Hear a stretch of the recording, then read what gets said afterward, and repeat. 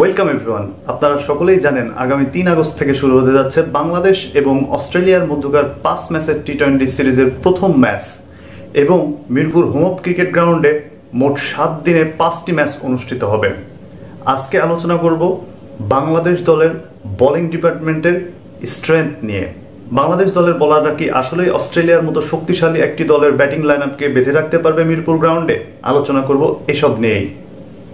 You are watching Cricket X-Ray. Taskin Ahmed, Shariful Islam, Rubel Hossain, Mustafizur Rahman এবং সাইফুদ্দিন বাংলাদেশের pace bowling ডিপার্টমেন্টে আছেন এই পাঁচজন। মিরপুর হোম ক্রিকেট গ্রাউন্ডে যে কন্ডিশন, এই পাঁচজনের মধ্যে তিনজনকে বাংলাদেশ বেছে নিবে। সেক্ষেত্রে সাইফুদ্দিন এবং মুস্তাফিজ অভিয়াস চয়েস। কিন্তু প্রশ্ন হচ্ছে, মুস্তাফিজ থাকবেন কিনা? মুস্তাফিজ স্কোয়াডে অবশ্যই আছেন।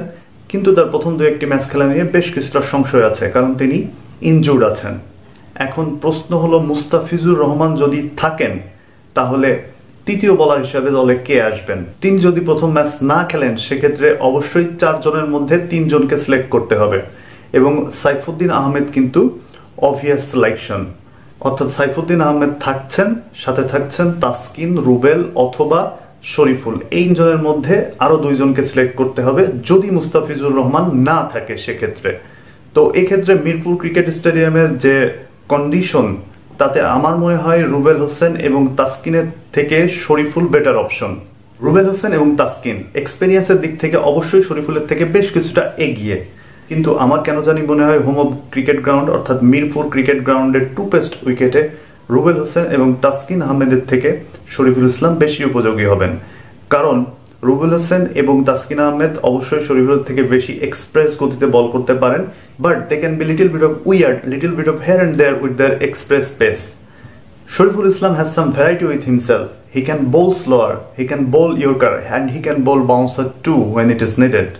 So, my second choice after Saifuddin Ahmed is Shariful Islam. যদি মুস্তাফিজুর রহমান থাকেন, তাহলে আমার প্রথম তিনজন বলার মুস্তাফিজুর রহমান, শরীফুল ইসলাম এবং সাইফুদ্দিন আহমেদ। যদি মুস্তাফিজুর রহমান না থাকেন, সেক্ষেত্রে রুবেল হোসেন এবং তাসকিন আহমেদের মধ্যে যে কোনো একজনকে দলে নিতে হবে। সেক্ষেত্রে আমার চয়েস তাসকিন আহমেদ। তিনি বেশ কিছুদিন ধরে জাতীয় দলের সাথে খেলছেন এবং আগের তাসকিনের থেকে এখনকার তাসকিনের পারফরমেন্স মোটামুটি ভাবে ভালো। অতএব মুস্তাফিজুর রহমান যদি না থাকে দলে, সেক্ষেত্রে Taskin Ahmed will be my third bowler. এখন আসি স্পিনারদের বিষয়ে। Cricket operation chairman Akram Khan এবং প্রধান নির্বাচক মিনহাজুল আবেদিন নান্নু মারফত আমরা যতটুকু জানতে পেরেছি, হোম অফ ক্রিকেটের উইকেট অস্ট্রেলিয়ার সাথে স্পিন বান্ধবী হচ্ছে। And nothing is more beautiful than Shakib Al Hasan in in this kind of wicket যদিও লেগ স্পিনার আমিনুল ইসলাম বিপ্লব এই সিরিজে থাকছেন না, তারপরেও সাকিব আল হাসানের সাথে বাংলাদেশের পার্ট টাইমার স্পিনারগুলো কিন্তু যথেষ্ট ইফেক্টিভ এই ধরনের উইকেটে সেক্ষেত্রে মেইন স্পিনার হিসেবে থাকছেন সাকিব আল হাসান, তার সাথে থাকছেন মাহমুদুল্লাহ রিয়াদ, আফিফ হোসেন ধ্রুব মোসাদ্দেক যদি দলে থাকেন, তিনি থাকবেন। এই দুজনে কিন্তু slow right arm off break এবং যথেষ্ট ইফেক্টিভ বলার এই কন্ডিশনের জন্য।